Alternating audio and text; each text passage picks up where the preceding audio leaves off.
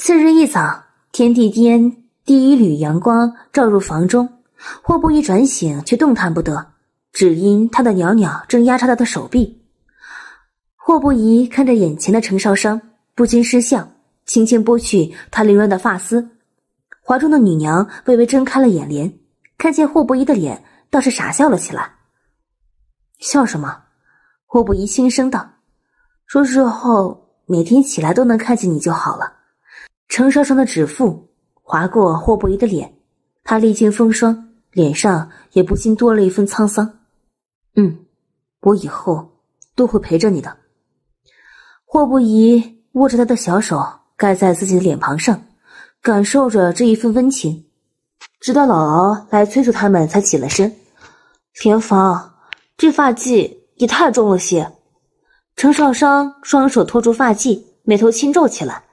莲房给陈少商梳了百合髻，头上又戴了一个玛瑙金冠，两边又戴上了金丝流苏。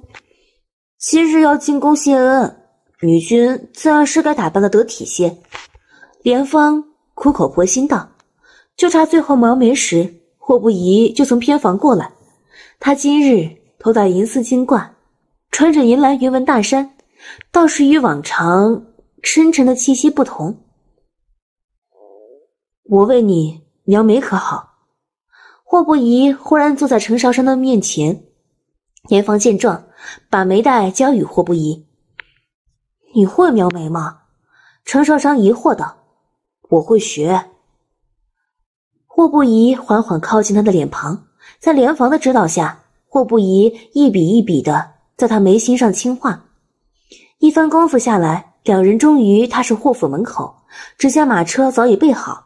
正当程少商准备找踏凳时，身后却忽然被人抱了起来。有我在，以后不用踏凳。